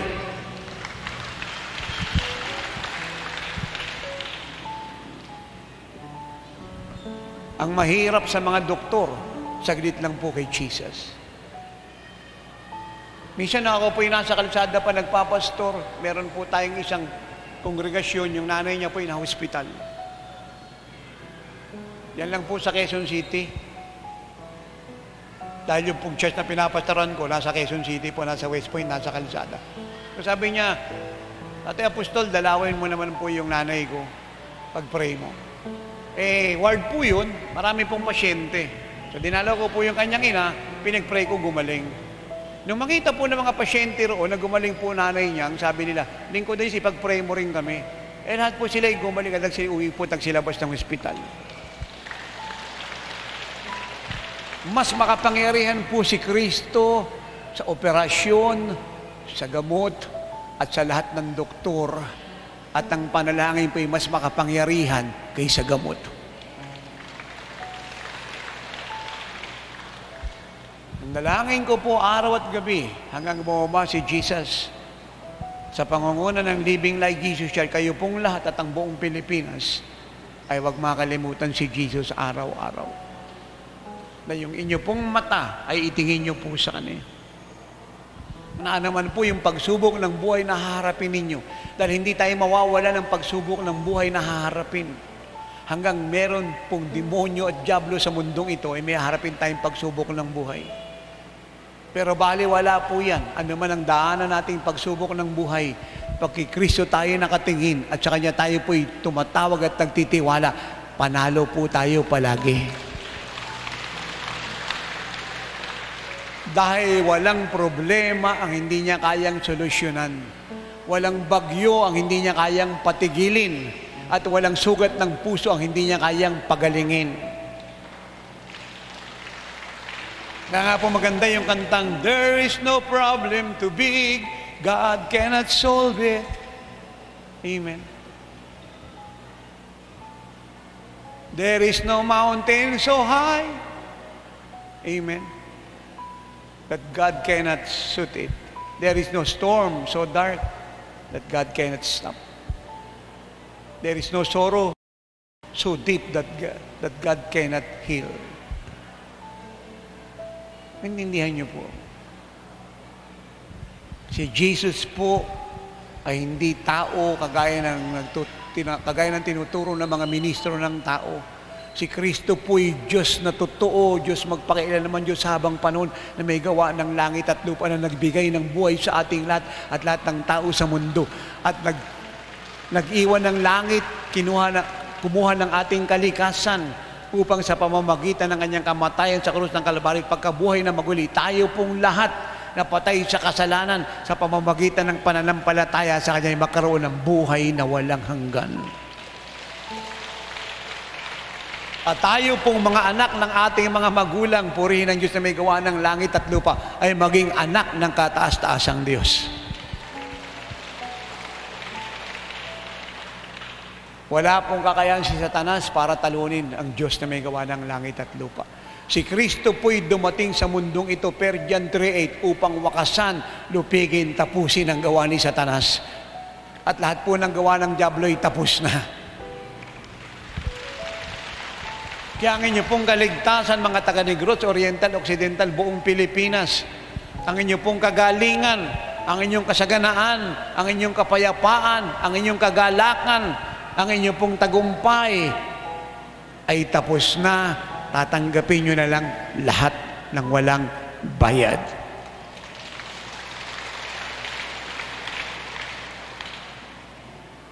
You will never be paralyzed again. Paralyzed no more.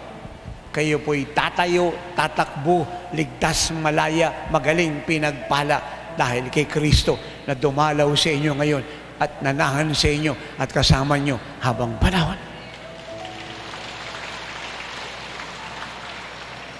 At kung handa na po tayong pumunta sa Panginoon na matagal na nag-aantay sa atin, na nagsabing walang imposible sa Kanya, ay tumayo po tayong lahat. Taas po ang dalawang kamay. Lahat po yumukot, pumikit.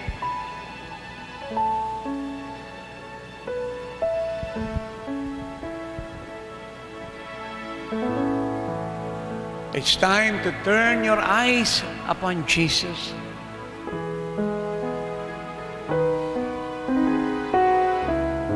Siya po ang sagot sa problema ng bansang ito. Can you imagine kung ipangangaral po ng mga bishop at mga pastor ay si Kristo, hindi yung kanilang fellowship, yung kanilang problema, yung gawa ng jablo, yung kanilang pakiramdam,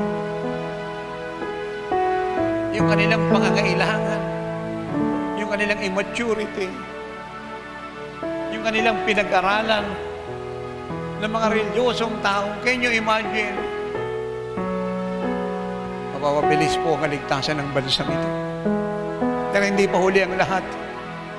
Mabait ang Diyos.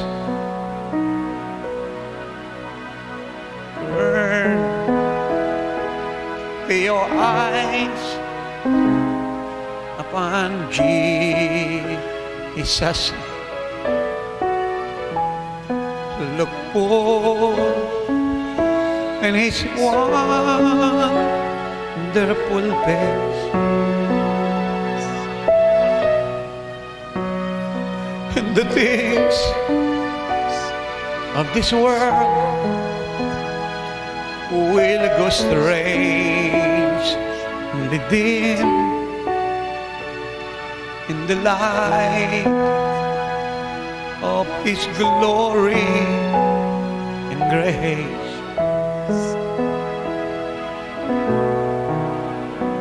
But turn your eyes upon Jesus. Look for in His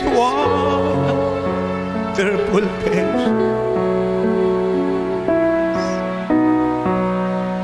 And the things of this world will go strange, dim in the light of His glory and grace. Sing it very, very soft. Lahat po na nagpunta rito gustong maligtas, lahat na nagpunta rito may sakit at karamdaman na gusto pong gumaling takbo po sa harapan.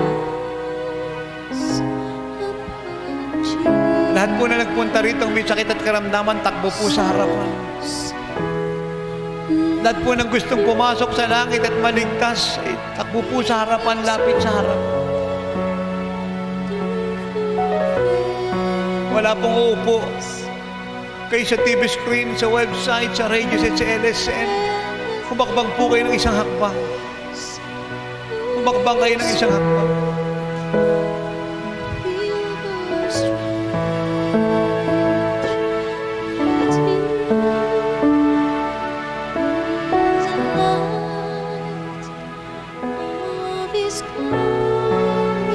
Inaantay po kayo ni Jesus.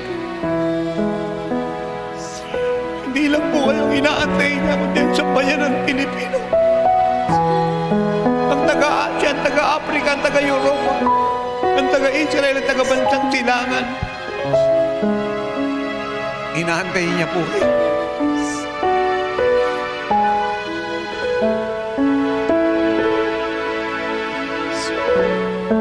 Do you see that, Lord? Maliit pa po ito. Ang kailangan natin ay ang sambayan ng Pilipino. Pero maganda na po ito, Panginoon. Maganda na. Ang importante may maligtas sa araw-araw.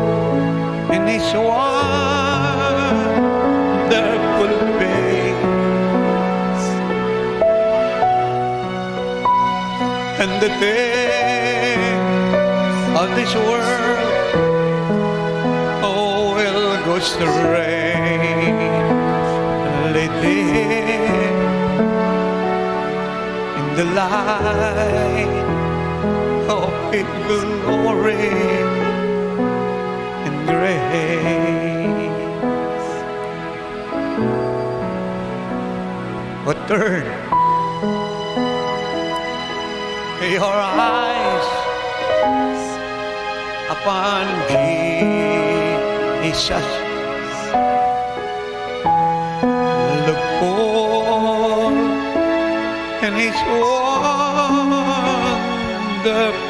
face. And the things of this world will go away. There in the light of His glory and grace. Keep singing very, very so, so sweet and so gentle. Niyo po inyong dalawang kamay, mga inibig. Maging kayo sa TV screen, sa website, sa LSN, sa radio set. Kasama na mga iniibig natin sa lugar na ito. Mga taga Negros, Oriental at Occidental. Taas niyo po inyong dalawang kamay. Sumabay po kayo sa panalangin ito. Sabihin niyo, Ama, lakasan niyo po, Ama, napakapalad. Kahit ganito ako, minahal mo ako. Hindi mo tiningnan ang kasalanan ko, ang pagsuway ko, ang pagkakamali ko. Bagkus, kinalinga mo ako, niligtas, iningatan, ipinadala mo ang Panginoong Iso Kristo para bayaran ang lahat ng kasalanan ko kahapon, ngayon, at habang panahon. Patawad po, Ama, sa aking mga pagkakasala, sa aking paniniwala, sa mga albularyo, espiritista, pyramid healer, psychic healer, mananawas, manggagawain. Patawad po na nakalimutan kita.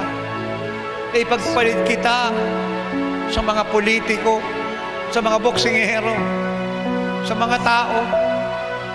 Patawad po kung ako po'y nalungkot, naghinanakit, sumama ang loob, nagtampo, nagalit, nang hindi nararapat, nahabag sa sarili, at hindi nagpatawad sa mga nagkasala sa akin.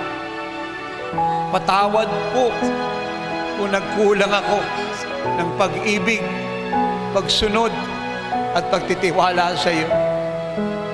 Panginoong Yesus, tanggapin mo ko. Kailangan kita.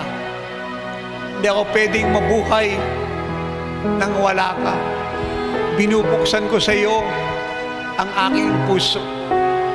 Tinatanggap po kita ngayon bilang personal kung Diyos, tagapagligtas, manggagamot ng aking buhay. Hugasan mo ako ng iyong banal na dugo. Ikaw na ngayon ang Panginoon ng buhay ko. Hindi na ako. Pangunahan mo ako sa landas na matuwid, sa matagumpay na buhay, at susunod ako sa iyo. Mula ngayon, kagaya ng sanga, mananatili ako sa iyo upang ako'y mamunga. Tinanggap ko na po ang iyong pagpapatawad, O Diyos. Salamat po. Nawala na ang mga kasalanan ko. Nahugasan na ng iyong dugo. Salamat po. Ligtas na ako. Anak na ako ng Diyos. Malaya na ako. At dahil ako'y pinatawad mo na, ay pinatatawad ko na rin ang lahat ng mga tao na ako'y may hinanakit, may tampo, may galit, at sama ng loob. Pinatatawad ko na sila ngayon. Sige po, banggitin niyo po yung pangalan ng mga taong pinatatawad ninyo. Lahat po ng maalala niyong tao na kayo po may tampo, may hinanakit, may sama ng loob, patawarin po ninyo. Sige po.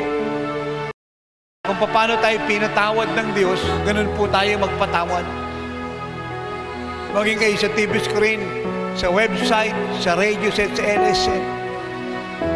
Lahat po ng maalala niyong tao na kayo po may tampo, tinanakit, patawarin po natin. Sige po, at pagkatapos ako po'y mananalangin, at lahat po ng sakit niyo po'y gagaling. Cancer man po yan. Yan man po'y sakit sa atay, sa puso, sa baga, sa bituka. Tumor man po yan. Glukoma, katarata, pagkabulag, pagkapibi, pagkabingi, pagkabaog, diabetes, high blood, butas na puso, baradong puso, lumalaking puso, HIV, ketong galis, ano man po ang sakit ninyo. Ako po yung mananalangin kayo pong lahat ay gagaling. Pero magpatawad po muna kayo. Sige po, hihintayin ko po kayo, hindi tayo magmamadali. Hanggang may maalala po kayong taong dapat niyong patawarin, ay patawarin po ninyo. Yes, Lord.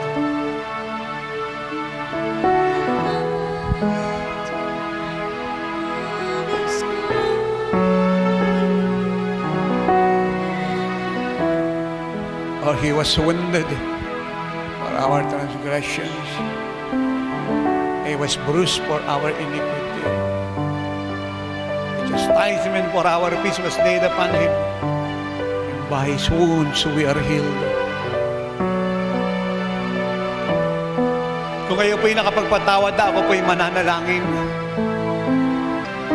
Tayo pong ay magtaas ang dalawang kamay. Tayo po ay yumuko o tayo po'y pumikit.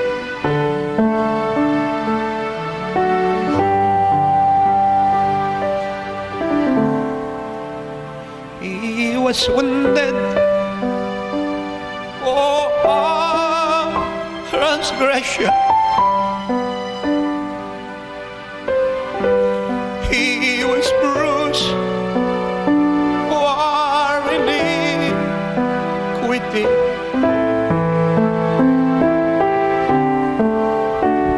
Surely he bore a sorrow.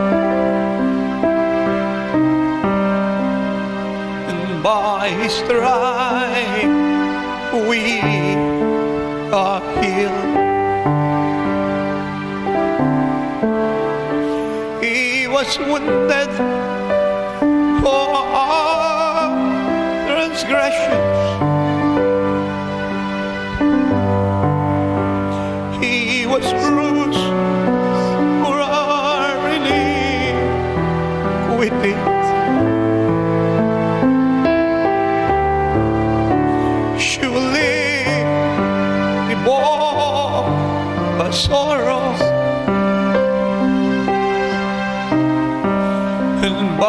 by his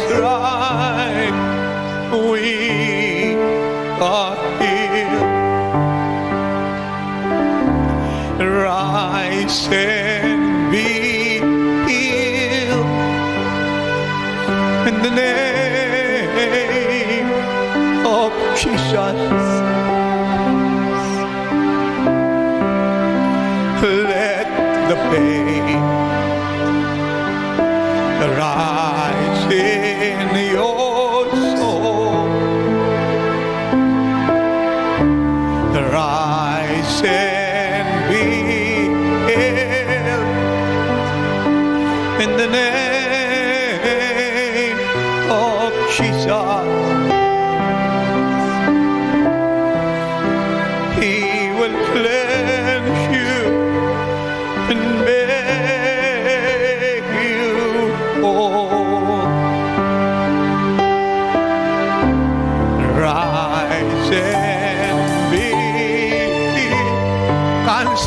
Sakit sa puso, sa bituka, sa lapay, sa atay, sakit sa utak, tumor sa utak, sa buto, sa bato, sa dibdib, cancer, migraine, epilepsy, diabetes, high blood pressure,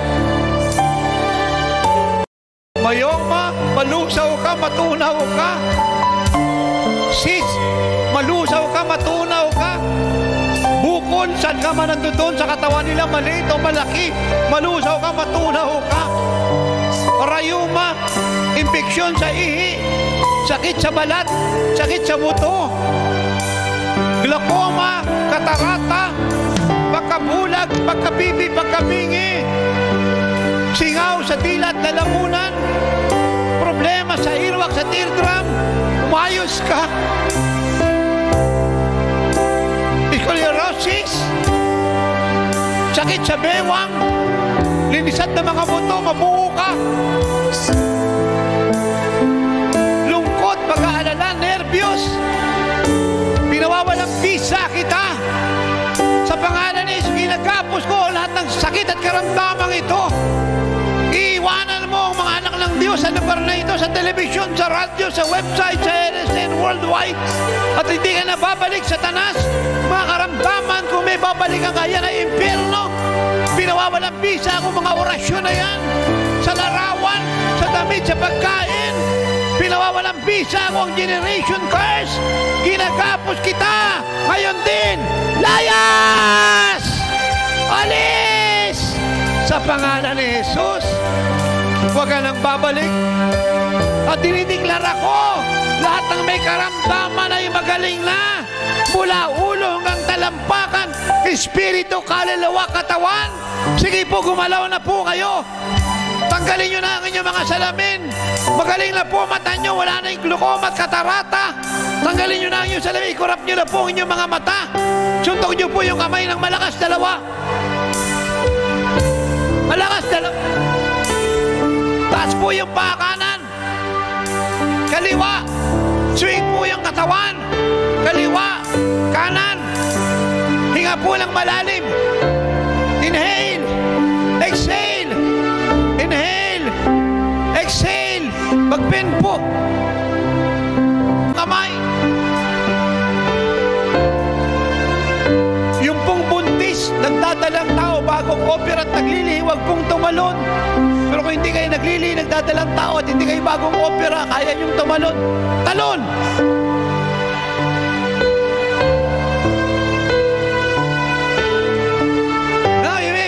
po yung dalawang kamay. Sabihin niyo, Panginoong Yesus, magaling na ako. Wala na ang sakit ko. Mula ulo hanggang talampakan, wala na ang sakit ko. Sige po, banggitin niyo yung dati niyong sakit. Sabihin niyo, wala na ang sakit ko. Ano po yung sakit niyo? Banggitin niyo. Sabihin niyo, wala na. Sige po, wala na. Ano ba ang sakit niyo? Sabihin niyo, wala na. Banggitin niyo po yung sakit niyo. Kinuha na ni Kristo sakit ko. Wala na sa katawan ko. Magaling na ako. Malaya na ako. Hallelujah. Amen. Now, taas po yung kamay ng magaling na. Sabihin niyo, Jesus, marami pong salamat. Ako po'y ligtas na. Magaling na. Malaya na. Pinagaling mo na. Magaling. Malakas. Amen. Palakpakan natin ang Diyos. Kayo po sa TV screen, sa website, sa radio, magaling na po kayo. Salatin niyo po yung mga bukol no, nyo wala na. Yung dati hindi niyo magawa, mag, gawin niyo na po ngayon. Dati hindi kayo nakakatay na sa wheelchair, kayo lakad. Kayo po'y bedridden, tindig sa higaan, tayo. Gumalaw na po kayo. Salatin niyo po yung mga bukol, wala na. Yung mga sakit niyo po sa bituka, mayoma, bayan, cancer, sakit sa atay, ganun niyo po. Wala na po yan, magaling na po yan. Sige po. Alisin niyo na yung mga salamin niyo, malinaw na po mga mata ninyo.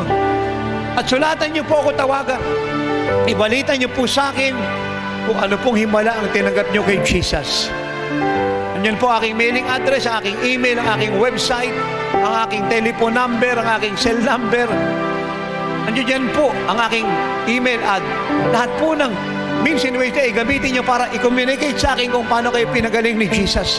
Sige po, sabihin nyo, Lord, salamat po. Ako yung magaling. Salitin nyo po yung mga bukol nyo. Wala na po yan. Yung tenga nyo, nakakarinig na po yan. Yung mga singa, wala na po. Yung goiter, wala na po yan. I rebuke it. Magaling na po kayo.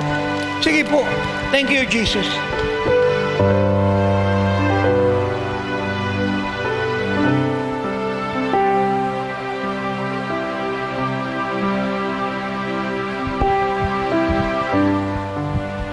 This, cancer is dead. Forever dead. I command this cancer, die! Die! Be removed from the root. I rebuke you out of her womb, out of her stomach, out of her life. And I decree you are healed. Gumalaw ka. Patay na yan. Magaling na yan. Sige.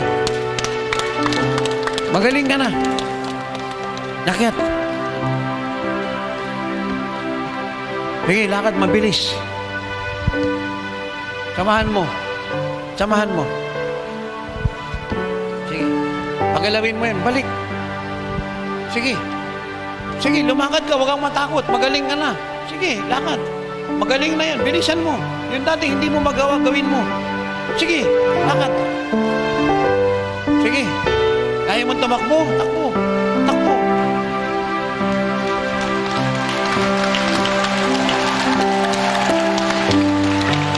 Halika. Halika. Lapit mo. So dati masakit yan. Hindi ka nakakatalon. Hindi po. Talon. Isa pa. Mayroon pang sakit. Naganap na po ang oras ng hibala sa Negros. Gaano katagal na yung cancer na yan? Gaano katagal na yung cancer na yan? Last October lang. Last October lang na-diagnose. Anong tawag sa cancer na yan? Stomach. Ha? Stomach cancer. Stomach. Sa gastric. Gallbladder? Sa chan. Sa chan. Sa tiyan. Sa chan. Sa masakit dati. Oo, masakit siya. Hindi mo maganon. Medyo po kasi matigas. Kaya nga ngayon, sige, patay na yan, malambot na yan. Naoperahan ako. Pero hindi pa rin nawala ang cancer. Hindi pa po. So ngayon malambot na. Napa siya ay chemo. Kaya nga ngayon malambot na. Wala ka na nararamdaman. Wala naman. Nagsimula na po ang hibala sa Tanay City, sa Negros Oriental, tuloy-tuloy na Occidental ng Visayas, ng Luzon at Mindanao. Hallelujah! Paano nyo nalaman dito? Gikan kami sa Manila. Galing kami ng Maynila. Tapos, Kayo po ang nanay. So gaano po kayo kasaya? Saya po. Magkano na oh? Sige po. Masayang masaya po. Ikaw yung kapatid. Gaano kalaki na gastos ninyo sa doktor? mga 200 plus na Anong naramdaman mo nung manalangin tayo? naramdaman ko, naiyak po ako kasi naramdaman ko po na hindi ako pinabayaan ng Panginoon. Mula umpisa, kahit hirap na hirap kami pamilya, hindi po kami pinabayaan. Na takot na takot ako magpa-opera, pero nagawa ko pa rin. Kasi lagi kami nagdadasal. Na sana sa pagsubok na ito, hindi kami pabayaan. At yun nga ang nangyari. So nung tayo na nanalangin dito at nung pinatungan ko ng kamay yung tiyan mo, nakaramdam ka ba ng ginhawa, relief? Maluwang kasi kanina parang kumikirot-kirot siya. Ngayon okay na yung pakiramdam ko. Naniniwala ka bang yung cancer na yan patay na? Naniniwala po. Ah, amen! Wala namang imposible Amen! sa Panginoon. Wala namang imposible sa Panginoon. Magpa- Lahat kaya niya naman pagalingin. Tsaka may anak kasi ako, isa. Single parent ako, kaya Huwag kang mag-alala, huwag kang umiyak. Mabubuhay ka habang panahon hanggang salamat bumaba si po, Kristo, huwag kang Diyos umiyak. Magpa-check up ka, patay na yan, tingin ka sa akin. Walang lalabas sa bibig mo araw at gabi kundi, Lord, salamat po. I am cancer-free. I am healed. I am whole. Huwag kang mahina, huwag kang maging matatakutin, magaling ka na, malaya ka na, hindi ka mamamatay. Ang namatay ay yung cancer, pero ikaw ay mabubuhay habang panahon. Amen! Praise God. Sige, ipapadalaw ko kayo sa pastor para po kami, Father. Malayo po kami. Saan? Taga Shaton kami. Saan lugar yun? Mga pila na siya ka-kilometers gikan Diribin. Anong bayan? Ha? 70 kilometers. 17? Oo. Alam, lapit lang yun ako. Ang, ang, ang Gisay Shield, buong Pilipinas at buong Mayo mundo. lang kami dito. Galing kami sa check-up ngayon. May TV mga at may radio po kami. tayo. Huwag kayong mag-alala. Wala pong malayo sa Lord. Ang importante, magaling na kayo. Palakpakan po natin si Jesus. Gusto ko pong isigaw niyang malakas. Sino nagpagaling sa inyo? Napagaling po sa akin ang Panginoon tsaka yung pananampalataya po namin. Amen. Na sa kabila ng lahat, hindi po kami pinabayaan. So praise God. So nothing to worry, nothing to fear. But you have all the reason to rejoice, to thank God. Live a normal life. Live a normal life. At lagi kayong manood ng oras ng himala para yung mind mo ay ma- maging intact sa Lord. Yung faith ay solid. Yung mind ay always renew at refresh. Dahil kung ako tatanungin mo, magpa-check up ka 100% period that cancer is dead. Amen. God bless you. Kumusta na po kayo, nanay? Salamat sa Ginoo. Maliwanag na mata nyo? Salamat, salamat sa Ginoo. Maliwanag na mata nyo? Salamat, oo, oo. Hindi na masakit katawan nyo? Na, hindi Sino na. nagpagaling sa inyo? Palakpakan natin si Jesus. Susunod, anong gumaling sa inyo? Yung ano ko po, yung chan ko po, kasi may cancer ako. At hindi ako... Cancer mak- din? Opo. Cancer sa bituka? Opo. Sa gallbladder, ovary? na, parang kumalat na po. Eh, ano po nangyari ngayon? Tapos ano po, inoperahan ako. Tapos mag-chemotherapy ako. Pero parang hindi gumaling-bumalik. Ngayon hindi ako, hindi talaga ako makatayo ng matagal. Pero ngayon parang tuma- naka- nakatayo ako ng matagal. Hindi po ito makatayo ng matagal. May cancer po ito na opera na. Sige po.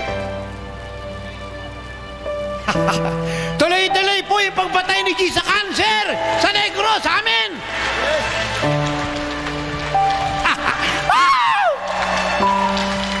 you see that? You see that?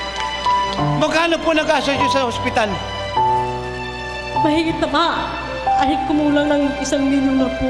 Isipin niyo po Kasi yun. pabalik-balik ako po.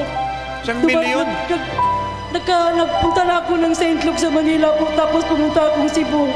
Pabalik-balik ako sa ospital. I see that. Saan po kayo nakatira? Sa Manhuyod po. Paano nyo rito nalaman? Nakita ko sa TV. Lagi ba kayo nanonood ng TV? Opo. Yung sa yung programa mo po. Isa po kayo sa nananalangin dumating ako rito? Opo. Ayun po, ang po talaga yung nasagot sa panalangin. My God. Pagtaas po tayong kamay, pasalamat po tayo sa Diyos, sa Ginoo. Salamat po tayo. Ikalawang cancer na po ito. Gaano katagal po yung sakit nyo? Mag-isang taon na po ngayon po. Isang Yung, taon? yung December po. Wala na kayo nararamdaman ngayon. Parang wala, wala talaga po. Sigaw niyo po ng malakas. Sino nagpagaling ng cancer nyo? Si Jesus po. Palakpakan po natin si Jesus. God bless you. Ano nangyari? Likod po ng Diyos, si Brother Edwin po taga-ayungon. Mayroon po siyang bato sa gallbladder. Anim na buwan na po siya nag, nag, nagtambal, pero wala po, hindi po siya pinagaling. Pero ngayon po ay pinagaling po siya ng Panginoong Isos sa kanyang gallbladder. At saka yung kanang kamay niya po, hindi niya po ito maitaas tatay. Pero ngayon po ay itinaas na at nagaroon siya ng kagalingan sa Panginoong Isos. So, kumusta na po kayo? Magaling na. Ay, Hindi na po tayo magtatanong, papalakpak na lang tayo. Sino po nagpagaling sa inyo? Jesus Si Christ. Jesus. God bless. Ano, ah, yung sunod. Abang, Ito po, ang pagsalig, magtuon ako sa Jesus Christ. Muy na kayo na ako sa akong kinabuhi. Sa akong sakit. Hindi ko man siya naintindihan. Praise the Lord! Si Brother Edgar po tatay, taga Manhuyod po siya. Yung kamay niya nga kanan po, hindi niya po maitaas dati. Pero ngayon po, nakagan, nakaginhawa na po siya. Dati hindi mo maitaas yan? Dalawang taon niya po tayo. Almost two years, sir. Almost two, two years ang akong ano, piyang. Oh, dalawang Ngayon- taong kang piyang. Dati, hanggang saan lang yan? Dati, pa, pag tinataas mo hanggang saan lang, ganyan lang? Ganyan ka lang, hindi mo maitaas. Tapos, Kaya, kaya nga, hindi, dati ganyan lang. oo, opo. Hindi, ba, ulitin mo ulit. Ganyan lang, hindi mo maitaas. O taas. Oh, bitawan mo. Taas. Eh, pumalakpak ang mga tao dito. Sino nagpagaling sa'yo? Si, Si Jesus. Jesus God, po. God bless you.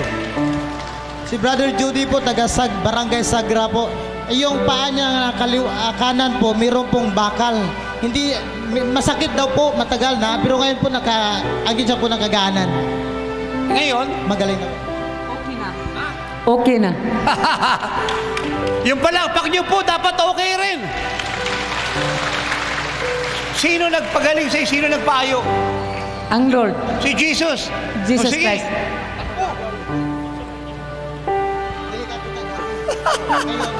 Lingkod ng Diyos, si nanay po ay masakit po yung balikat, kumikirot, gayon po siya po yung na po nagpapatotoo na masakit magaling. yung- Na masakit nga kagabaga. Nayo-ayo naman ko. Kaloy si Jesus. Kaloyan ko. Hindi na daw po masakit yung balikat niya. Pinagaling na siya ni Jesus. God bless po. Si ate po tatay, masakit yung kanang tiil niya. Pero ngayon, magaling na daw. Yung tuhod niyo, Ang tiil na ko dyan. Ang paaraw niya, masakit. Ang paa niya, masakit. ngayon, Ngayon, Magaling na. palakpakan po natin si Jesus. Ito, ito tatay yung televiewer natin sa Ayongon. Yung si nanay, meron po siya sakit sa puso. Pero ngayon po, naka, ano siya ng kagaanan. Sino may sakit sa puso? Kayo. Kumusta na kayo ngayon? Tauhay naman. Maginhawa na po kayo? Ginawa na. Magaan na pakiramdam niyo? Wala na. O wala nang balatian? Palakpakan po natin si Jesus. Magtaas po tayong kamay. Ama, pinagpapala ko po ang kabuhayan ng mga anak mo sa Negros Oriental at Occidental. Pinagpapala ko po, Ama, ang kanilang pamilya. Pinagpapala ko ang kanilang kinabukasan. Pinagpapala ko, O Diyos, ang kanilang ministeryo. Pinagpapala ko ang kanilang lamesa, ang kanilang tubigan, ang kanilang tinabayan, ang kanilang mga bukid, ang kanilang mga prutas, gulay. At dinideklara ko, lahat ng tinatangkilik nila itataas mo. Ingatan mo po ang lahat, Ama. At ihatid mo ang dakilang paglilitas na ito sa sambayan ng Pilipino. Mauna ka sa pupuntahan ng lingkod mo sa Luzon, sa Visaya at sa Mindanao at sa buong mundo. At salamat po sa ginawa mong pagdalaw sa bayan mo. Marami pong salamat. Sumayo po ang lahat ng karangalan, sumayo po ang lahat ng kapurihan, at sumaamin ng kagalakan, sumakay sa tanas ang kahiyan at pagkatalo habang panahon. At ang lahat ng mga anak ng Diyos na natutuwa sa Diyos, naligtas, gumaling, lumaya, pinagpala, ay pumalakpak ng malakas at magsabi ng Amen.